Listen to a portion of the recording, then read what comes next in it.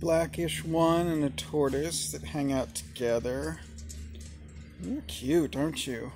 I think they're both girls. The tortoise definitely is. Nice to see you. Yeah, you're friendly.